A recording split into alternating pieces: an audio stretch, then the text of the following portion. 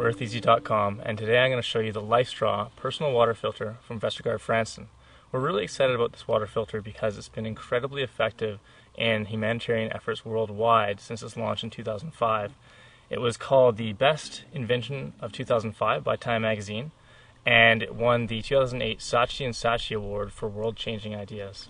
It's a really, really effective water filter, and I'm going to show you some of the features now. The LifeStraw uses a patented filtration system which uses no iodine, chemicals, batteries, or any moving parts whatsoever.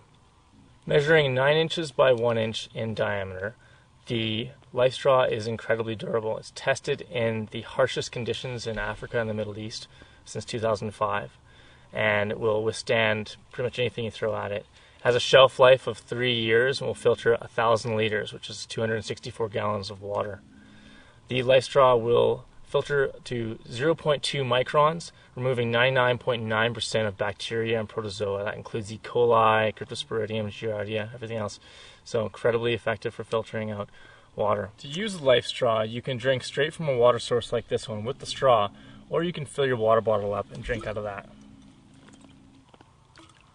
Remove the end cap, put it in your water bottle, move the top cap, and just suck out of it.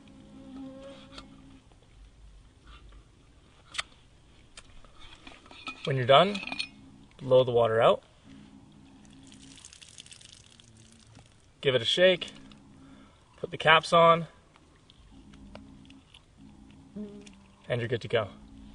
As you can see, the Life Straw is easy to use, lightweight, and very effective for travelers, backpackers, and emergency preparedness situations.